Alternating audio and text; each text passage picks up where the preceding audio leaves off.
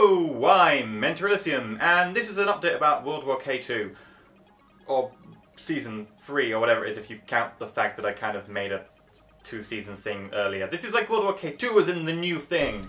Um, anyway, uh, just an update that I said it would be out February, and I was aiming for sort of mid to late February. Um, however, there's a number of things that have come up that meant it's going to be delayed slightly.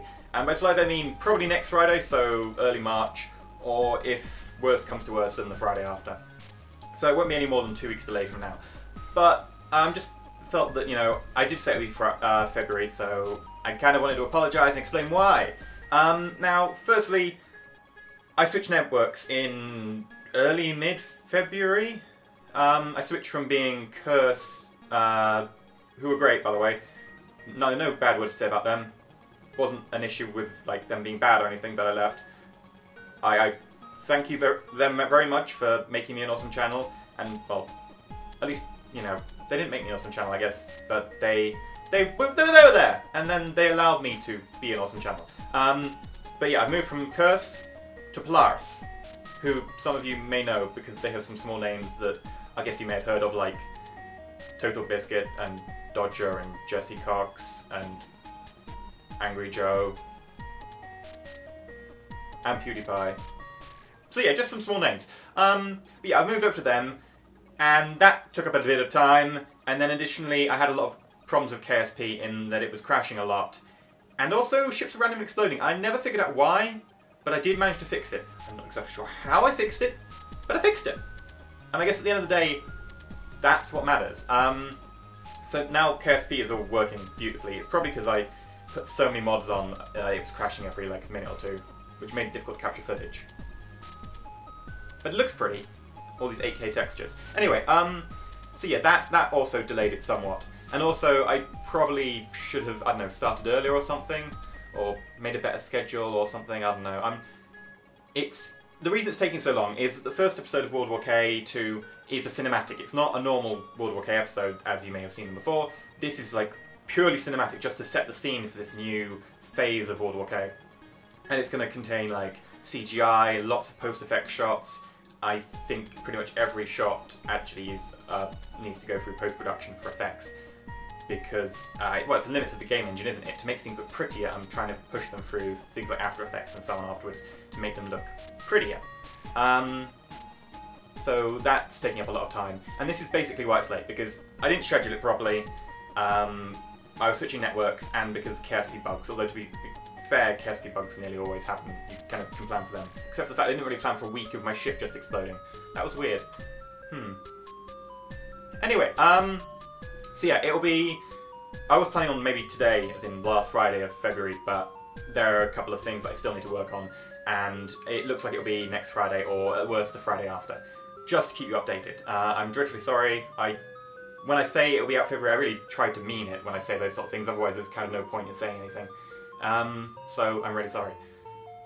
I decided it'd probably be better to get something completely and utterly awesome out the door later by a week or two than to have something crappy going out the door now because I want to kind of make this awesome. I don't want to make it a half-hearted attempt. If I'm going to do it, I'm going to do it right. Um, and I decided that most of you would, you know, probably appreciate that. Also, there's cars honking outside. That's going to be very helpful. Um, however, a couple of you have been kind of so looking forward to it, apparently, that you've been kind of kind of dicks about it. Um, there were comments appearing on videos from like the 3rd of February onwards saying, It's February, where's World War K? Well, back then, the obvious answer is it's the 3rd of February, and I said February, so... Also, if you ever want to actually know updates or anything, follow my Twitter. YouTube kind of sucks for this sort of thing. I mean, the only way to really get in touch with you over YouTube properly is by putting a video out, like now. And you mostly sign up to my channel, I guess, to watch my videos, not to watch videos about where my videos are. Like, that's meta content, and I guess, kind of, I don't want my channel to be about my channel, I want my channel to be about games. So, I want to make videos like this, pretty rare. Um, so yeah, if you actually want to know stuff, follow my Twitter. But yeah, some of you were also being really kind of rude. Not many of you. Like I must like emphasize this is a really small like minority of maybe. Well, I've got what 50,000 subscribers, so this is maybe like 50 maximum, probably a lot less. So very small percentage. But it's not acceptable to be rude, disrespectful, especially when I'm working really hard on this. you can understand how that really pisses me off.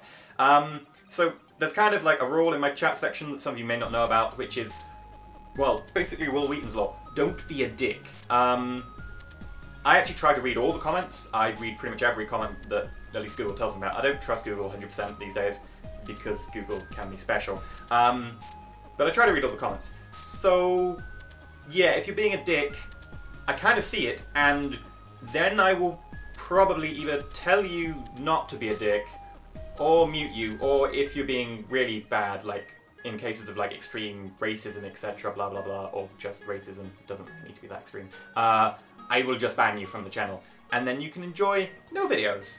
So there's that. So just play nice, guys. I mean, this is just a YouTube channel after all. At the end of the day, I mean, for me, it's a life.